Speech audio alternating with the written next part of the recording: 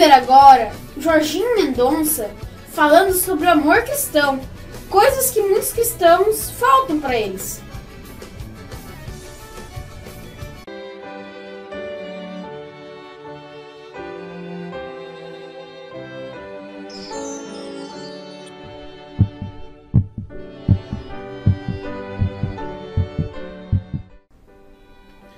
Olá, povo, mais uma vez aqui no Amor Cristão.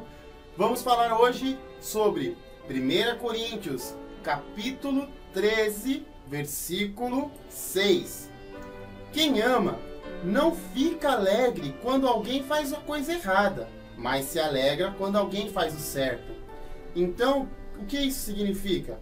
Quem ama não fica alegre quando alguém faz a coisa errada. Significa que você pode amar alguém mas você vai mostrar mais amor não em ficar quieto quando você vê aquela pessoa fazendo algo errado. O seu amor será demonstrado quando você corrige essa pessoa, porque ao corrigir, você mostra que aquela pessoa está se livrando do mal. Então, quer livrar alguém, quer amar alguém, corrija o seu irmão quando ele estiver fazendo algo errado. Viu o seu irmão mentindo, viu o seu irmão roubando, viu o seu irmão enganando, seja quem for. Não permita isso, perdoe. Assim também, quando você estiver fazendo o que é certo, você se alegra com ele e ame cada dia mais. O amor é isso, gente. Até a próxima para falarmos mais um pouquinho. Beijo, amo vocês.